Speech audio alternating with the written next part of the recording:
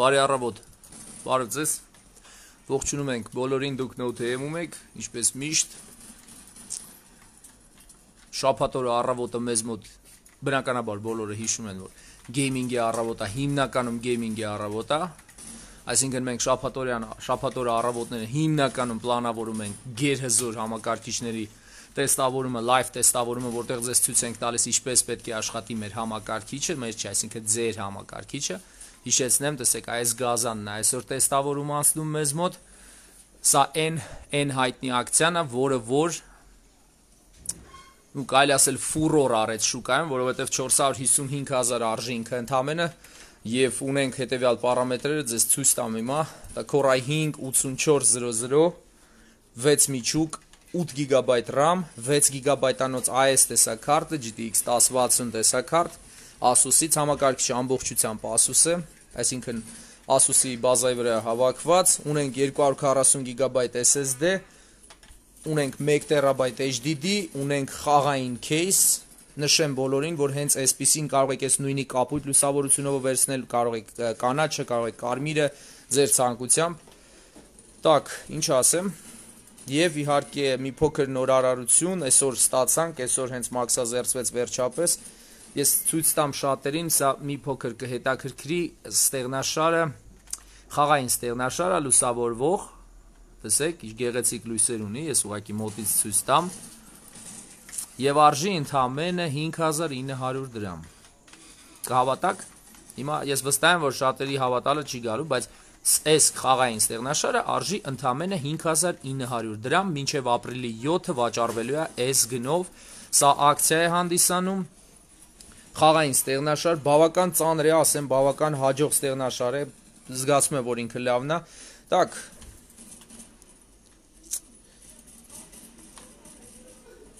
ուշադրություն դարձրեք, մենք Warface ենք տեստավորում, ասեմ ձեզ, մենք տեստավորելու ենք երկու վերսիայով եւ Միսարուբկեն մսաղացը առանձին եւ սովորական Warface-ը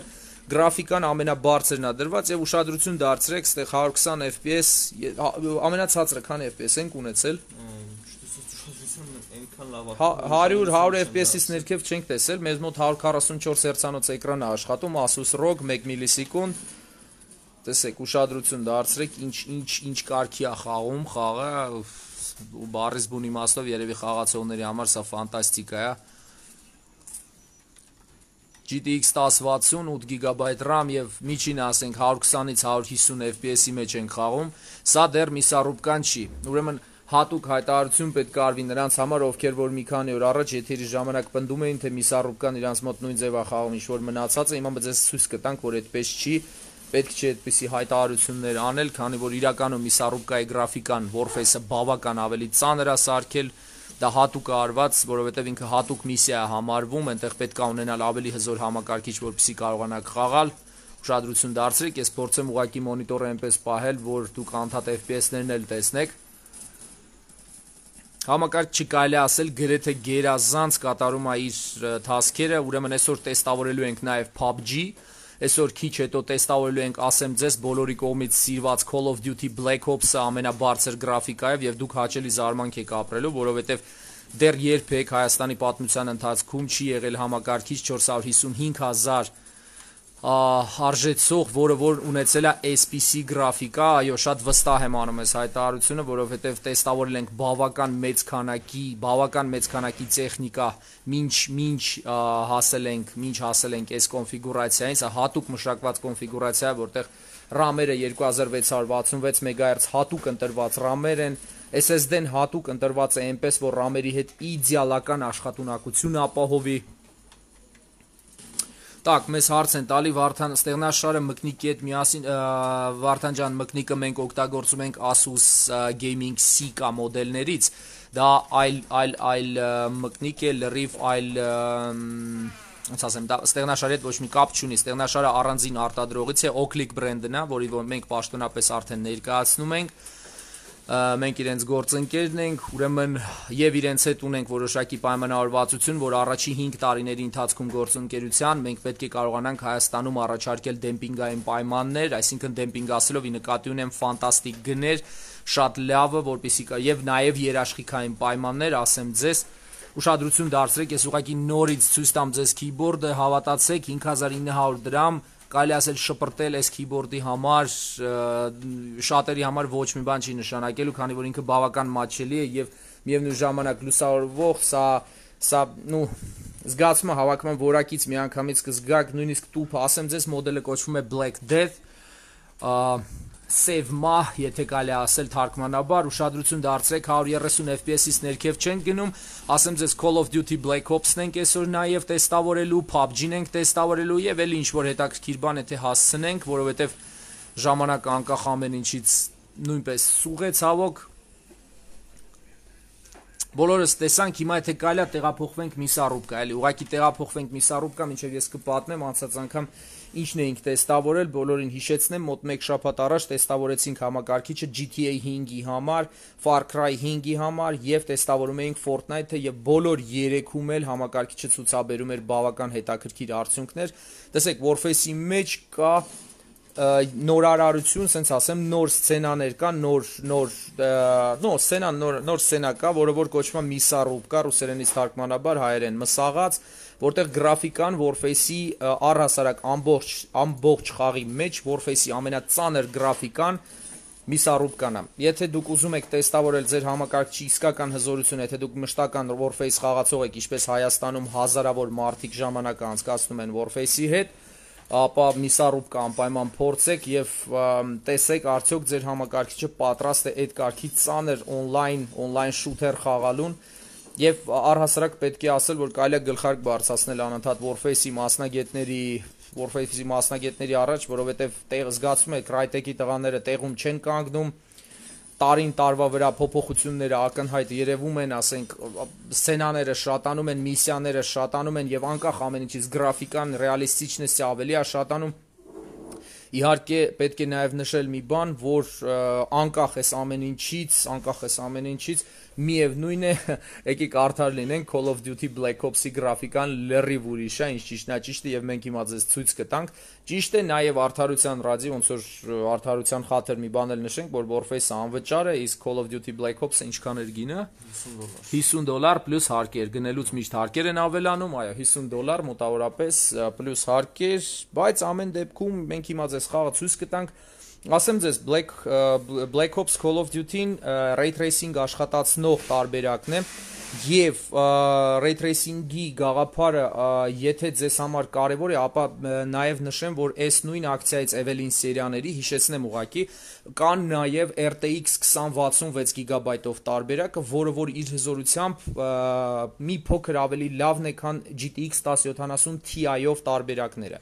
Այնտեղ իհարկե ուրիշ մայրական սալիկ է, ուրիշ ռամեր է մշակված, քանի որ ամեն տեսակարտը ունի իր իր հետ աշխատող ամենալավ կոմպոնենտների սեփական բազան, ասենք կոմպոնենտները միևնույն ձևով չեն աշխատում բոլոր կոմպոնենտները իրար հետ։ Ես ուղղակի հիշեցնեմ կամ ասենք ինֆորմացիա տամ այն մարդկանց, ովքեր որ սիրում են ինչ որ տարբեր on-line պորտալներում իրարից անկախ մասեր ընտրել, պարամետրեր ստանալ եւ ոչ համակարգիչ մտածելով թե իրենք կարող են համակարգիչ հավաքել եւ դա ճիշտ կլինի ասեմ ձեզ ձեր կարծիքի մեջ լինելու է ճիշտ միայն այն որ դու կարող եք համակարգիչ հավաքել քանի որ այն այն այն այն լաբորատոր տեստավորումը որը որ անցկացվում է այստեղ NoTM-ի լաբորատորիան լաբորատոր հատվածում որտեղ մենք տեստավորում ենք հազարավոր մասեր, մեկը մյուսից լավը, ասենց ասեմ, եւ ամեն օր եւ այն այն փորձը, որ մենք կարողանում ենք հավաքել ու ստանալ, վստահեցնում եմ ձեզ, դուք տանը չեք կարողանալու կամ ասենց գուշակելով չեք կարողանալու, ասենք, ստանալ Օրինակ, հասարակ օրինակ բերեմ, ասենք Corsair-ը ունի 3200 MHz-անոց ֆանտաստիկ թվացող RAM-էր, որոնք որ գրեթե ոչ մի մայրական սալիկ հետ իդեալական համակցություն չունեն։ Իրենք բավական մաչելի են, խոսքը չի վերաբերվում Corsair-ին, բոլոր RAM-երը ունեն, բոլոր RAM արտադրողները ունեն կամ SSD արտադրողները կամ նույն Asus-ը ասենք, ունի մայրական սալիկներ, որոնք որ նենց չի որ ամեն ամեն ինչի հետ իդեալական աշխատում են, չնայած որ իրենց վրա ասենք Z390 կամ 370 չիպսետ է դրված։ Так։ Գնացինք առաջ։ Գնացինք առաջ, սա միսառուբկանը միանգամից տեսեք եւ FPS-ները դետալիզացիան ամենաբարձրն է դրված մեզ մոտ։ Մի հատ ուղակի ցույց տան գրաֆիկան, եթե կարելի է, դնում ենք ամեն ինչի ամենաբարձրը 144 Hz, 4 կա միացրեցիք։ 4 կա միացրած։ եթե կարելի է Full HD միացնենք, որտեղ 4K-ով, հա, Full HD մոնիտորի վրա իմաստ չունի տեստավորելը, գնացինք առաջ, ուրեմն սկսենք նրանից որ, ահա, վերադառնում ենք միսառուբկա, տեսեք, միանգամից FPS-ների մեջ արդեն 10-15%-ի տարբերություն զգացվում է։ Դեռ այստեղ խաղացողները քիչ են։ Չէ։ ամբողջովին չեն միացել դրամը, երբ որ 16 հոգի հավաքվում է, ժամանակ արդեն Այո, մեր մասնագետներից մեկը հուշում է, որ խաղացողները ինչքան շատանում են, բնականաբար այնքան FPS-ները ավելի քչանում են։ Տեսեք, չնայած այստեղ տեսեք ուշադրություն, եթե դարձնեք, որ տատանումները FPS-ներից շատ ավելի մեծ են տատանումները շատ ավելի բարձր են, քան նու տատանումները շատ ավելի բարձր են, քան առհասարակ սովորական Warface-ի ժամանակ խաղի ժամանակ տեղի է ունենում եւ եւ եւ պետք է գիտեք ինչ նաեւ ուշադրություն դարձնել նրան որ դա կախված է նաեւ այն բանից որ թե ինչքան ինչքան մասնագետներ են ինչքան մասնագետներ են ոչ թե ինչքան մասնագետներ են, այլ ինչքան խաղացողներ են այդ պահին խաղում ուղակի, այսինքն եթե ասենք նույն սցենայի մեջ մենք ունենք բնականաբար ավելի շատ շարժվող մարդիկ, այդտեղ մենք ունենք ավելի ցածր FPS-ներ, քանի որ համակարգչից պահանջվում է շատ ավելի մեծ համակարգչից պահանջվում է շատ ավելի մեծ, շատ ավելի մեծ կարելի ասել, ու ռեսուրս, ավելի ճիշտ կոնֆիգուրացված համակարգիչ է պահանջվում, պահանջվում է շատ ավելի հետաքրքիր մոտեցում, քան թե ուղակի, քան թե ուղակի հավաքել համակարգիչ եւ անկախ ամեն ինչից տեսեք, միսառուբկայի մեջ տեսեք գրաֆիկան մենք ունենք մեծ տատանումներով։ Այսինքն, այստեղ խաղացողները հիմա քիչ են, այս ամեն ինչը տեստավորվում է on-line, դրա համար ասենք շատ բան կարգավորել եւ պլանավորել չի լինում, այսինքն մենք հիմա live եթերում ենք աշխատում, ինչ ստացվում է, ստացվում է, ասենց ասեմ, եթե ասենք մենք հիմա ունենք 15 հոգի, ովքեր կարող են on-line հավաքվել, ապա մենք չենք կարողանալու ստիպել, որպեսզի ավելի շատ մարդ հավաքվի այս բան, քանի որ live խաղում են տարբեր տեղերից, աշխարհի տարբեր կետերից մտնում խաղում են, մեզ մոտ տեստավորողը պրոֆեսիոնալ Warface-ի մասնագետ է կարելի ասել, պրոֆեսիոնալ գեյմերը եւ եւ այստեղ ունենք նաեւ Եվ իսկ տակ ունենք այստեղ նաև հնարավորություն ձեզ ցույց տալու այդ տատանումները։ Տեսեք, եթե մենք մի փոքր առաջ տեստավորում էինք սովորական սցենաներից եւ այնտեղ ասենք խաղում էր 120-ից 140 FPS-ի մեջ, այստեղ մեզ մոտ ուշադրություն դարձրեք FPS-ները տատանվում են 110-ից 160 միանգամից։ Այսինքն, ես կարող եմ ենթադրել, որ եթե մենք ունենանք 16 մասնակից միաժամանակ, ունենանք մի փոքր ավելի նու խիտ միջավայր, սենց ասեմ, գրաֆիկայի առումով մենք արդեն 100 FPS դժվար ենք ունենալու, ինչպես նախորդ տեստավորման ժամանակ էինք ցույց տալիս, որտեղ այդ հնարավորությունը կար, այսինքն տեսնելու հնարավորությունը կար։ Տեսեք, այստեղ խաղում ենք միսառուբկան նաև 140-150 FPS-ով, բայց հիշեցնեմ, այստեղ մասնակիցները համեմատաբար քիչ են։ 16 մասնակից չի հավաքվել, դրա համար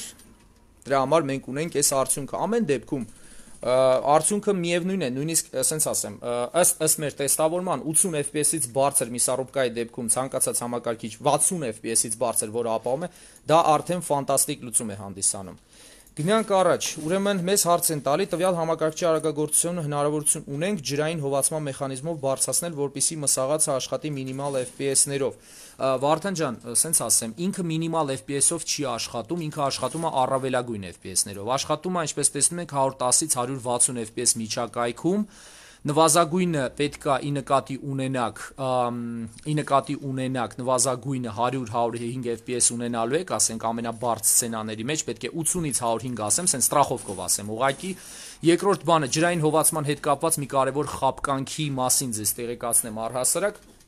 ջրային հովա ես ես ձեզ պատմեմ ուղակի այն ինչ որ ինչպես են մեր հետ կիսվում ինֆորմացիայով արտադրողները դուք պատկերացնեք մենք աշխատում ենք Asus բրենդի հետ, MSI բրենդի հետ, Zotac-ի հետ, գրեթե բոլոր տեսակարտ արտադրողների հետ ուղիղ աշխատանք ունենք, ուղիղ կապ ունենք եւ մշտական շփում ունենք ոչ միայն RF3 առումով, այլ նաեւ կոնֆիգուրացիաների մշակման, ինֆորմացիայի փոխանակման եւ ամենակարևորը փորձի փոխանակման առումով։ մենք ունենք, ասենք, բազում, նո սերտիֆիկատներ, բաներ, դա ձեզ չի ասի, ուղղակի աշխատանքի սկզբունքը, աշխատանքի սկզբունքը հետեւյալն է, որ մենք պետք է կարողանանք օպտիմալ լուծումներ առաջարկենք գնորդին, օգտագործողին, Նաև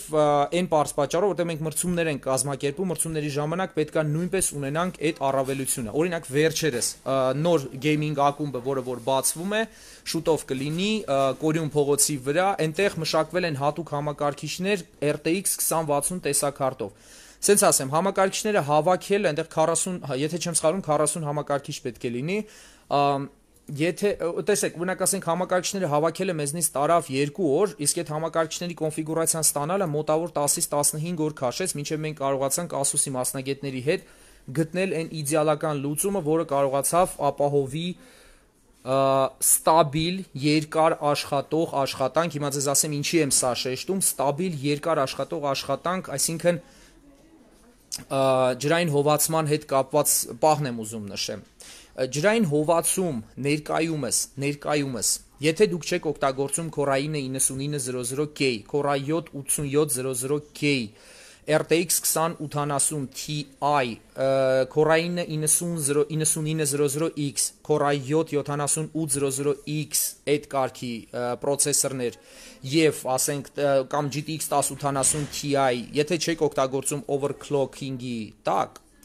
ապա ջրային հովացումը ձեզ փաստացի անիմաստ է իրականում անիմաստ է, քանի որ դուք այդտեղ ավելի շատ համակարգչի գեղեցկության համար, ասենք վիզուալ գեղեցկության համար եք վիզուալ գեղեցկության համար եք ստանում, վճարում կատարում, քան քան ասենք հզորություն եք ստանում։ Ջրային հովացումը, հիդրոհովացումը, եկեք այսպես վերցնենք, էլի երկու ձևի կա, կա пассив ջրային հովացում եւ ակտիվ ջրային հովացում։ Ակտիվ ջրային է, որ ֆիզիկապես տեսնում եք ինչպես է հեղուկը համակարգչի մեջ շարժվում, ինչ մեր մասնագետը կմտնի Call of Duty Black Ops, մի հատ ցույց տանք ուղակի ներողություն եմ խնդրում, մի հատ շեղվեմ, ցույց տանք գրաֆիկան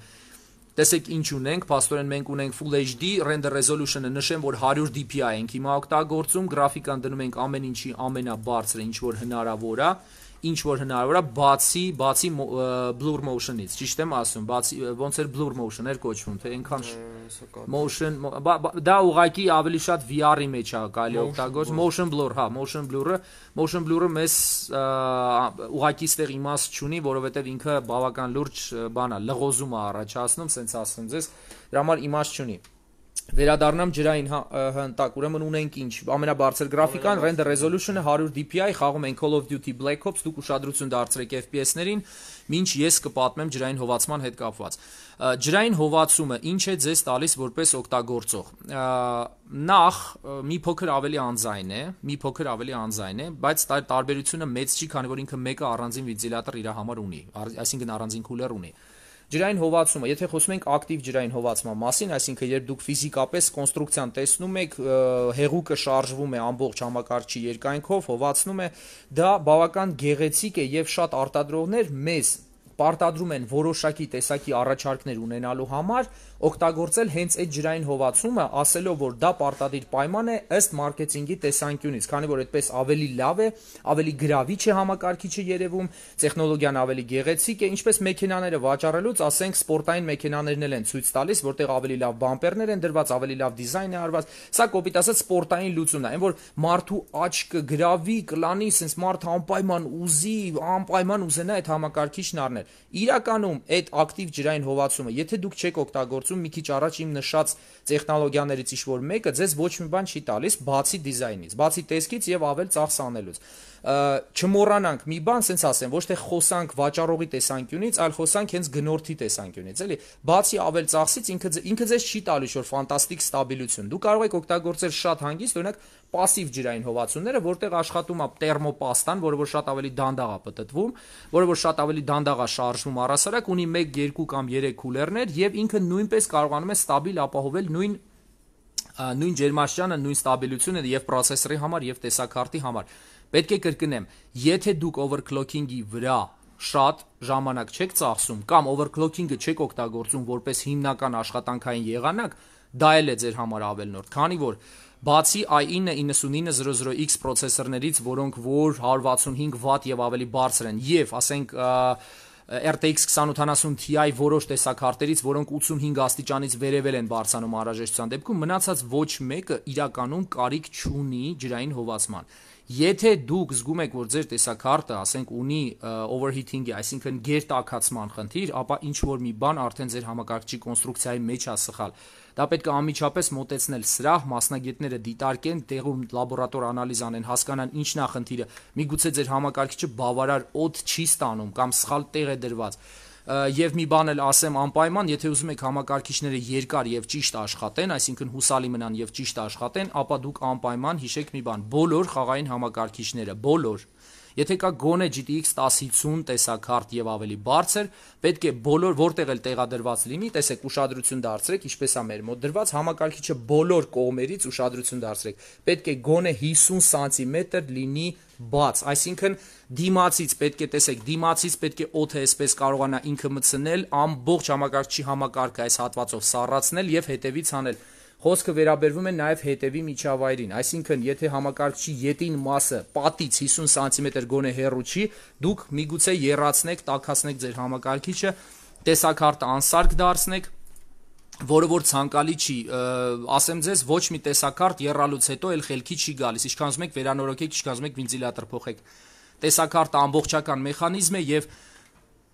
իր վերանորոգումը գրեթե անհնար է, իդեալական վերանորոգումը գրեթե անհնար է։ Դրա համար խնդրում եմ ուշադրություն դարձրեք, տեսակարտը անկախ ամեն ինչից դիտարկում ենք որպես համակարգչի խաղային համակարգչի սիրտը։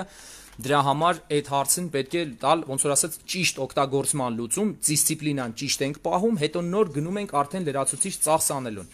կա, ասենք, բաշննի կուլերներ, ռուսերեն ասեմ, աս tower կուլերներ են կոչվում, որոնք որ աշխատում են գրեթե նույն ձև, ինչ որ ջրային հովացումները կամ հիդրո հիդրո կուլերները։ Տարբերությունը նա է, որ հիդրոկուլերների մեջ թերմոպաստան պետք է թարմացնել 2-ից 3 տարին մեկ, իսկ թավոր կուլերները հիմնականում ասենք գոնե ցանկալիա գոնե տարին մեկ թարմացնել։ Բայց Node.am-ում դա անվճար է արվում, մեր մոտ գնված համակարգիչների համար դա անվճար է արվում, այնպես որ եթե մեր գնորդներից եք մտածելու ոչ մի բան չունեք, եթե ձեզ պետքա կես տարի մեկ էլ եկեք մեզ մոտ հանգիստ դնենք, թարմացնենք հովացումը, դիագնոստիկա անենք, ստուգենք, եթե պետքա փոշիները թարմաց ոչ թե թարմացվի, այլ մաքրվի, դա այդ ամեն ինչը անվճար է, մեր մոտ դա գնի մեջ մտնում է, մենք մենք դա հաճույքի համար ենք անում, ասենց ասեմ, այնպես որ կարող եք հանգիստ դիմել, եթե այդպիսի հարց ունեք։ Հուսում եմ ձեր հետաքրությունը կարողացա բավարարել պատասխանով ամեն դեպքում իմացեք ջրային հովացումը ավելի շատ մարքեթինգային բան է, եթե չենք խոսում RTX 2080 Ti եւ ավելի բարձր տեսակարտերի, նու i9 տեսակների եւ IoT X սերիաների մասին կան տեսակարտեր, որոնք հենց իրեն գործարանային արտադրված են ջրային հովացումը ներառված, այսինքն ամրացված է ջրային հովացուցիչ միանգամից, քանի որ ինքը overclocking-ի համար նախատեսված է, այսինքն ինքը հնարավորություն տալու է ձեզ overclocking անել։ Եվ խնդրում եմ ուշադրություն դարձրեք Call of Duty Black Ops-ում փաստացի մենք ունենք մի փոքր ավելի քիչ FPS-ներ, բարձր, ամենաբարձր գրաֆիկայի պայմաններում, քան Warface-ներ, ասեմ ձեզ, որ Call of Duty մասնագետները որոշակի թարմացումներ են արել, երբ մենք անցած տարվա հոկտեմբեր-նոյեմբերից սկսեցինք տեստավորել Call of Duty Black Ops-ը, երբ նա նոր էր դուրս եկել, նոր էր մտել շուկա, այն ժամանակ FPS-ներն ավելի քիչ էր պահում 100 DPI-ի ժամանակ եւ մենք ունեցել ենք վիդեոներ, որտեղ մենք ցույց էինք ցույց էինք տալիս հենց Evelyn-ի առաջին սերիաները կհիշեք, երբ նրանք դեռ 500 հազարից մի փոքր ավելի թանկ էին պրոցեսորների գների թանկացման պատճառով Ուրեմն այնտեղ մենք ունեինք շատ դժվարությամբ ստանում էինք, ասենք 100 DPI պայմաններում, եթե չեմ սխալվում, եթե հիշողությունս չի դավաճանում, 30-ից 50 FPS եւ նու 60 FPS։ Բայց աշխատանքը օպտիմիզացվեց, աշխատ նու կարելի ասել ծրագրավորողները բավական կարողացան օպտիմիզացնել դետալիզացիայի հարցը եւ տեսեք մենք արդեն 455000 դրամ արժեցող համակարգչով ունենք 100 FPS միջինը 100 DPI render resolution-ի պայմաններում։ Հիմա եկեք ձեզ մի բան ցույց տանք, որը որ միանգամից ցույց կտա նաև համակարգիչը ինչքան ինչքան ռեսուրս ունի հզորության։ Եկեք render resolution-ը բարձրացնենք 150 Այստեղ մենք դետալիզացիան, տեսեք, ուշադրություն դարձրեք բոլոր նրանք, ովքեր որ խաղում են այս խաղը, render resolution-ը դա 1 կետում ունեցած DPI-ների քանակն է։ Տեսեք, միանգամից աշխատանքը փոխվեց եւ մենք 100 FPS-ից միջինը իջանք 40-45, 50 FPS։ Ուշադրություն դարձրեք, նույնիսկ վիզուալ հիմա տեսնելու եք տարբերությունը, գույները փոխվեցին, ավելի խիտ դառան, միանշանակ, ասենք կրակը սկսեց ավելի նու ավելի բնական դարձավ ամեն ինչը։ Տեսեք Call of Duty Black Ops-ում, ասենք կա այդ հնարավորությունը, որ մենք կարողանանք ունենանք հնարավորինս ավելի, ասենք, ավելի լավ պատկեր, սա հիմնականում ստեղծված է այն այն գաղափարի շուրջ, որը որ կոչվում է ray tracing, որը որ մեզ հնարավորություն է տալիս ավելի լավ գույներ, ավելի ճիշտ շողքեր, այսինքն նաև դաշտում առհասարակ մեր պոզիցիան Երևանյան ունենալ ավելի լավ մակարդակով, բոլորս լավ գիտենք, որ լույսերը, շողքերը տալիս են առավել շատ ոնց որ իրա, իրականության էֆեկտ եւ դրանով է կարգավորվում նաեւ խաղի որակը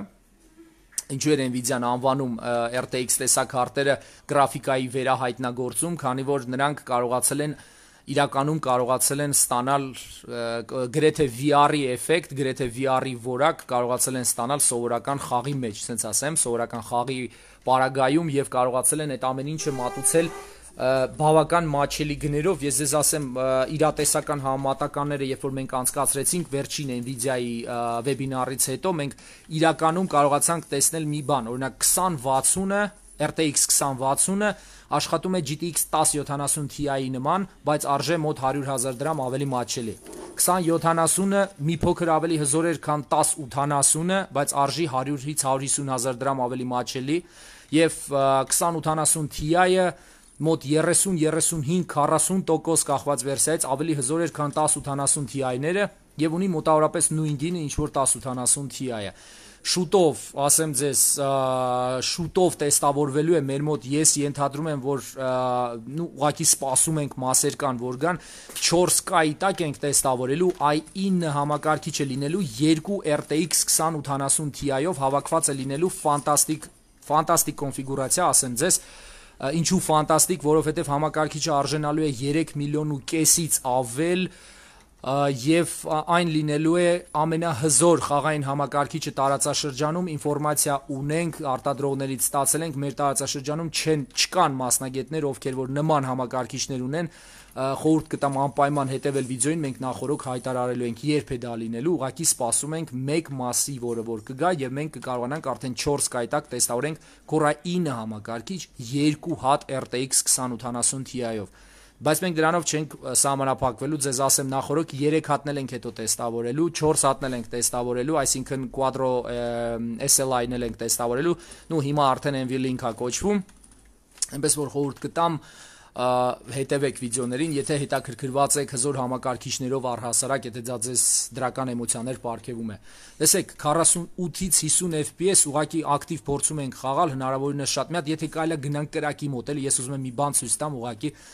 կրակ, կրակ, կրակ կար։ Հիմա հատ մոտենանք, ուղղակի այս կրակը շատ կարևոր է, քանի որ կրակը բավական բարդ ստեղծվող գրաֆիկական մեխանիզմ է հանդիսանում։ Ահա, ուշադրություն դարձրեք, հիմա մոտիկ են գնում, տեսեք, ես հիմա փորձեմ մոտեցնել, մի հատ ուշադրություն դարձրեք, ինչքան բնական է ինքը։ Ուշադրություն, ես ուղղակի 1 րոպե ձեզ թողեմ մենակ կրակի հետ ուշադրություն դարձրեք, ինչքան բնական է ինքը։ Սա RTX չէ, սա այո, տեսեք, մեզ սպանեցին, բայց ոչինչ։ Սա RTX չէ, սա GTX 1060-ն է, որը որ, որ ունի իդեալական կոնֆիգուրացիա, այսինքն համակարգիչը այնքան օպտիմալ է հավաքած, որ մենք համարյա RTX-ի որակ ենք ստեղ կարողանում ստանալ, ասեմ ձեզ։ Համարյա RTX-ի որակ։ Так, տեսեք, գնանք առաջ եւ եթե կարելի է արդեն բարձրացնենք մինչեւ 200 render resolution-ը առավելագույնը դնենք ամենաբարձրը, Տեսեք, մինչև միացնելը, արդեն վիդեո RAM-ը ես ձեզ ուշադրություն դարձրեք, չի երկում ինքը ուզելու է 10 ավել գիգաբայտեր, Ճիշտ է, պետք է նշել արդարության խաթր, որ համակարգիչը խաղալու է, բայց արդեն մենք խաղում ենք 20-ից 30 FPS միջակայքում եւ միանգամից պետքա նշել, որ համակարգիչը ստեղ իրան լավ չի զգում, դա վիզուալ ես տեսնում եմ հիմա, ասենք 30 FPS-ը ինքը ոնց որ իր գործը անում, զգացում է համակարգիչը պատվով է դուրս գալիս սիտուացիայից, բայց առհասարակ գրաֆիկան արդեն այնքան կոմֆորտնի չի, ինչքան 150 DPI-ում կամ 100 DPI-ի պայմաններում։ Դու շադրություն դարձրեք։ Հա, բայց միանշանակ մենք ստացանք մեկ առավելություն, տեսեք ջուրը, ջրի, ասենք կաթիլները, շողքերը, կրակը, եկեք հատ նորից նույն կրակին մոտենանք, էլի պարտադիր չի։ Փորձենք, տեսեք, ստեղ էապես փոխվեց, հիմա արդեն կարելի է ասել փոփոխությունը շատ շատ լավ երևում է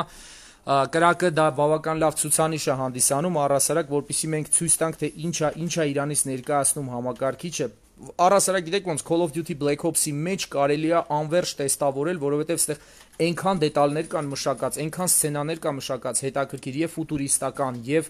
իրական, եւ ասենք տարբեր ռեգիոններից, տարբեր կուլտուրաներից, օրինակի համար իրականում Call of Duty Black Ops-ը նու կարող եք գնել ուղակի ձեր համակարգչի մեջ ունենալ անընդհատ տեստ անելու համար, ասենք, կամ անընդհատ անընդհատ հնարավորություն ունենալու համար, ասենք, մաքսիմալ շութերի մեջ երևի այսօրվա աշխարհում ամենաբարդ գրաֆիկան Call of Duty Black Ops-ն է բոլոր շութերների մեջ, սրանից բարդ գրաֆիկա դեռ չենք տեսել, ինչ ճիշտն է ճիշտ տակ։ Մենք կամած-կամած երևի շարժենք բոլորի կողմից սիրված PUBG ուղությամբ 6 վայրկյանից խաղը 6 վայրկյանից խաղը վերջանում է, ճիշտ է, բայց ասեմ ձեզ համակարգիչը բավական պատվով է դուրս գալիս սիտուացիայից, որտեվ տեսան 25-ից 35 FPS-ով 200 DPI-ով խաղալ Call of Duty Black Ops Դա նշանակում է, որ դա նշանակում է մեր համակարգիչը, մեր համակարգչի վրա պետքա սուպեր սուպեր գրած սթիքեր մի հատ կպցնել ուղակի, որովհետև ինքը իր աշխատանքն անում է եւ ձեզ ասեմ իմիջիալուց հետաքրքրվածներին ասեմ, որ տեսեք, այստեղ մենք օգտագործում ենք Asus-ի GTX 1060 Phoenix Edition-ը, որը որ 1 cooler ունի ընդամենը, ուշադրություն դարձրեք, 1 cooler։ Այսինքն, ուղղակի հիշեցնեմ, ճիշտ ճիշտ կոնֆիգուրացիա ունենալու պայմաններում ոչ պարտադիր է ջրային հովացում ոչ պարտադիր է 3 քուլեր ունենալ, ոչ պարտադիր է ինչ որ ģերբնական кейսեր դնել, ասենք ոչ պարտադիր է 1000 վատանոց բլոկ պիտանյա դնել։ Ես դեզ ասեմ, դա ուղակի տրյուկ է, որը որ շատ անբարեխիղճ վաճառողներ օգտագործում են նրա համար, որպիսի կարողանան կարողանան ձեզնից առավելագույն գումար կորզել։ Միշտ ուրախadir եղեք, խնդրում եմ համակարգիչը ճիշտ կոնֆիգուրացիա է պահանջում, ոչ թե շատ ծախս, դա պետք է միշտ հաշվի առնեք։ Եվ վերադառնանք PUBG, բոլորի կողմից սիրված աշխարհում ամենաշատ խաղացվող խաղերից մեկը, առհասարակ կարելի ասել PUBG-ն արդեն PUBG-ին հանգիստ կարելի է El Clasico համարել, որովհետև ինքը ինքը կլասիկ կարելի ասել, ոչ թե El Clasico, այլ կլասիկ խաղ կարելի է համարել, քանի որ ինքը արդեն ունի միլիոնավոր միլիոնավոր խաղացողներ ամբողջ աշխարհում, եթե ես չեմ սխալվում, PUBG խաղում են միշտ միշտ միաժամանակ խաղում են մի քանի 100.000 հոգի on-line են, այսինքն կախված նրանից թե որտեղ եք խաղում, կարող եք տեսնել եւ խաղալ, ամենակարևորը կարելի է խաղալ network-ի մեջ, այսինքն ընկերներով, այսինքն ընկերներով, որոնք որ նույնիսկ ձեր հետ նույն երկրում չեն գտնվում, եւ իհարկե, իհարկե ասենք ժամանակը լավ անցկացնել, հետաքրքիր անցկացնել, երկար ենք սկսում երկար ենք սպասում ենք սերվերին։ Սպասում ենք սերվերին։ Գրաֆիկան միանգամից գրաֆիկան կարող ենք դնել, որ հենց միանգամից մենք ունենանք ամենաբարձր գրաֆիկան Full HD-ի վրա, եկեք նշենք, որտեղ հնարավոր է բարձրացնել գրաֆիկան անպայման պետք է բարձրացնենք հնարավորինս չհասրեցինք, բայց կարող ենք չէ խաղի մեջ փոխել իրան։ Ահա, շատ բարի, ուշադրություն դարձրեք, սա PUBG-ն է։ Անցած վիդեոյում տեստավորեցինք Fortnite, GTA 5 եւ Far Cry, ճիշտ է։ Եվ իմջալից ասեմ, Far Cry-ը ինքը բավական բարդ եւ շատ գեղեցիկ մշակված գրաֆիկա ունի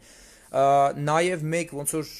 լավ բան Far Cry-ը նույնպես կարելի է ցանցային խաղալ, այսինքն կարելի է խաղալ թիմով վերցնել ինչ որ task-եր, խաղալ, գնալ այդ task-երը կատարել, այդ հանձնարարությունները կատարել, միավորներ հավաքել, GTA 5-ի նման։ Գրաֆիկան մենք ուղակի դնենք ամենաբարձրը, սպասում ենք կպնել սերվերին։ PUBG-ն ասեմ ձեզ նույնպես բավական բարդ գրաֆիկա ունի, ճիշտ է, վիզուալ դուք դա այդքան չեք տեսնում, որովհետև PUBG-ն չի ապահովում են իրականության էֆեկտները, ինչ որ Call of Duty Black Ops-ը օրինակի համար, փոխարենը PUBG-ն ունի աննորմալ մեծ քարտեզ, աննորմալ մեծ քարտեզ, որը ուտում է ձեր տեսակարտի եւ համակարգչի ռեսուրսի երևի 60-ից 70%-ը շատերը կհիշեն այն պահը, երբ որ պարաշուտով ձեզ նետում են ներքև, երբ որ խաղը պետքա սկսեք, մի պահ է սկսվում, երբ պետք է ներբեռնել այդ ամբողջ քարտեզի ինֆորմացիան դեպի համակարգիչ, ու այդ պայն FPS-ները միանգամից ակնթարթորեն սկսում են ընկնել, շատ շատ ռեսկի սկսում են ընկնել, եւ դրան պետք է ուշադրություն դարձնել, դա նշանակում է համակարգիչը ոնց որ ասում է բանը, սա քարտեզը քաշեց ջանը միանգամից, արդեն ինքը սկսում է ծանր աշխատել։ Մենք ուղակի սպասում ենք մինչև տեսեք 95 հոգի, 97 հոգի կպավ այս քարտեզին, ասեմ ձեզ ինչքան ավելի շատ մարդ հետ կպնում քարտեզին, այնքան ավելի գրաֆիկան բարթանում է, այնքան ավելի դժվար է համակարգչին խաղալը։ Եվ խաղը կսկսվի 40 քանի վայրկյանից, 45 վայրկյանից արդեն ուշադրություն դարձնենք գրաֆիկան մեր մոտ առավելագույններ, չէ՞ դրված, մաքսիմալներ։ Իհարկե ձեզ ասեմ կախված թե ինչ ինչ շարժիչ, հա, եթե կարելի է դվիժոկ ասեմ, էլի ավելի շուտ ինչ խաղային engine են օգտագործել, դուք կարող եք վիզուալիզացիայի տարբեր էֆեկտներ տենալ, այսինքն դուք կարող եք ունենալ շատ ծանր խաղ, իրականում շատ ծանր խաղ համակարգչի համար, այսպես GTA 5-ը, բայց վիզուալ չտեսնեք ինչ որ վիզուալ տեսնեք ինչ որ մուլտիաշնի բաներ այսինքն մեկը մյուսի հետ կապ չունի, կախված նրանից թե engine-ը ինչ է օգտագործվել, ծանրությունը ըստ դրա է որոշվելու համակարգչի, այսինքն ոչ թե ծանրություն, այլ ըստ դրա է որոշում թե ինչ ծանրաբեռնվածություն կունենա համակարգչի վրա engine-ը շատ կարևոր է աշխատանքի մեջ, ավելի կարևոր է հավատացեք, քան այն գրաֆիկան, թե դուք որը որ դուք տեսնում եք, համեմատած նրա, թե դուք ինչ եք տեսնում։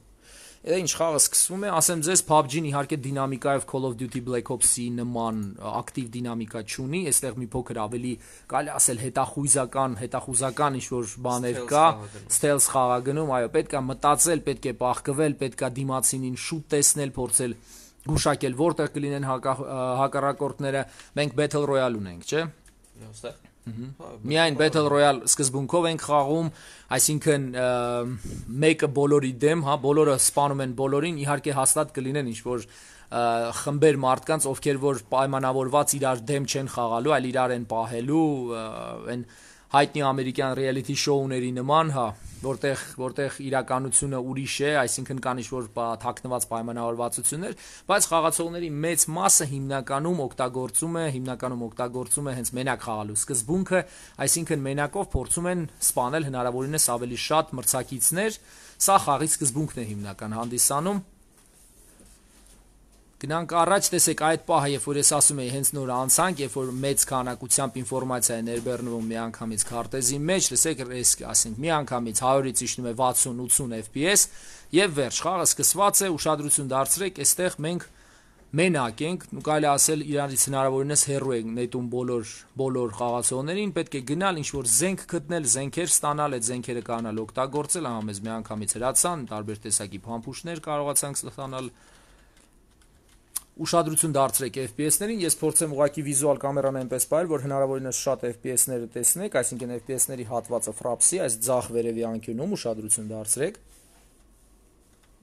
Գրաֆիկան առավելագույնն է, համակարգիչը կարելի ասել խաղը խաղում է շատ հանգիստ, կարող ենք մի փոքր ավելի բարդ սցենայի մեջ գնալ, ասենք ավելի շատ դետալներ որտեղ որ կլինի։ Որոնք փորձեն գրանք անտառ, բայց ինձ թվում է բավականին հեռու կլինի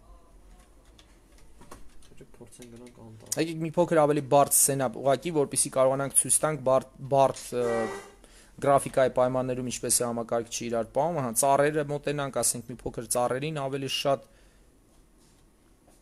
Ես ասեմ գրեթե լուրջ տարբերություն 2060-ի հետ չեմ զգում չհաշված FPS-ները եւ որոշակի լուսային էֆեկտներ, չեմ գրեթե չեմ զգում 2060-ի հետ լուրջ տարբերություն, հաշվի առնելով են, որ մոտավորապես 90000 դրամ ավելի մաչելի է ստացվում 1060-ով տարբերակը, սա կարող է բավական լավ լուծում հանդիսանալ։ Իմիջիայլոց ասեմ, որ համակարգիչը շատ հանգիստ կարող են օգտագործել նաև գրաֆիկական դիզայներները, այսինքն այս համակարգիչը, տեսեք, ցույց տամ նորից հիշեցնեմ պարամետրերը, ունենք 6 միջուկանի Core i5 8400, ունենք 8 GB RAM, 240 GB SSD, 1 TB Winchester HDD,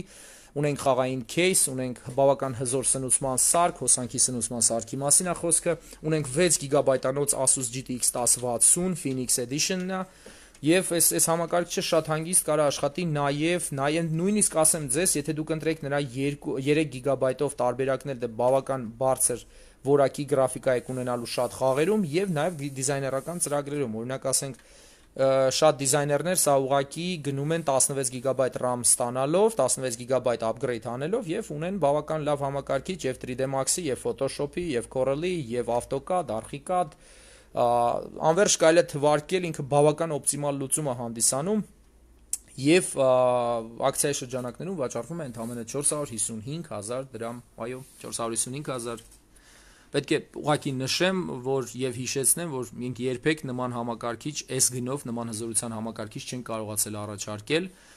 եւ ասեմ ձեզ, սա լավագույն լուծումներից մեկն է, որը որ արժի ունենալ առհասարակ։ Եթե խաղ եք խաղում, իմիջայլուց ասեմ, կարող եք նույնի i3-ով վերսիան վերցնել գրեթե տարբերություն չեք ունենալու, միգուցե խաղերի մեջ առասարակ չունենաք։ Տեսեք, մենք ամբողջ ընթացքում մեզ սպանեցին ցավոք, ամբողջ ընթացքում, ամբողջ ընթացքում չկարողացանք տեսնել 60 FPS, այսինքն մեզ մոտ անընդհատ 80 FPS պլյուս էր խաղը գնում, որը որ խոսում է նրա մասին, որ համակարգիչը իրականում հանդիսանում է բավական լավ տեխնիկական լուծում եւ առհասարակ չի զիջում, ոչ թե չի զիջում, նույնիսկ ինձ թվում է շատ ավելի շատ ավելի բաներով ավելի առավել է, քան քան նմանատիպ այլ համակարգեր, որոնք որ մշակված են եղել նախկինում, միանշանակ դրական զարմանք ներկայացնում է եւ ասեմ ձեզ, որ մյուս անգամ արդեն տեստավորելու ենք տանկի խաղը եւ եւ եթե ցանկություն ունեք ինչ որ խաղեր կան, որոնք որ կուզենայիք տեստավորենք, խնդրում ենք վիդեոն նայելուց կամ վիդեոից հետո, ուղակի գրեք տակը մենք ամենամեծ քանակի ոնց որ ամենամեծ ամենամեծ հարցումներ ունեցող խաղերը կփորձենք տեղադրել նույնիսկ եթե դրանք վճարովի խաղեր են մի անհանգստացեք մենք որոշակի ռեսուրսներ ունենք նախատեսած դրա համար մեր մոտ բոլոր խաղերը օրիգինալ են գնվում են խաղերը եւ կարող ենք նաեւ ցույց տալ տեստավորել ձեզ ցույց տալ նաև այդ այդ այդ այդ այդ խաղերի տակ ձեր ունեցած գրաֆիկան Հիշեցնեմ, որ մեզ մոտ կար որոշակի նոր առաջարկ, ուղղակի հիշեցնեմ, keyboard-ը 5900 դրամ, խաղային keyboard, բավական հաջող եւ բավական բավական խաղային։ Ընդամենը 5900 դրամ, սա ուղղակի գովազդային մեջբերում անեմ, բավական գեղեցիկ է հավաքված։ Գիտեք ոնց լավ լավ նյութ է զգացումը որ իրականում բավական լավն է եւ ինքը երկար կծառայի, հաստատ արժի 5900 դրամ տալ սենց խաղային keyboard ունենալ։ Շնորհակալ եմ բոլորին, որ մեզ հետ եք, պետք է բոլորին խնդրեմ լայք դնել վիդեոյի տակ, եթե հավանում եք այն այն այն ֆորմատը, որը որ մենք ներկայացնում ենք խաղային աշխարհում եւ առասարակ տեստավորման աշխարհում, եւ կրկին շնորհակալ կլինենք, եթե դուք share անեք, կիսվեք ձեր Facebook-ի էջում կամ YouTube-ի էջում մեր վիդեոները, որովհետեւ դուք դրանով կօգնեք մեզ դառնալ ավելի ավելի ավելի տարածված, որը որ մենք որի համար մենք ձեզ շնորհակալ ենք։ Ստեսյուն ձեզ, սպասեք մեր մյուս վիդեոներին։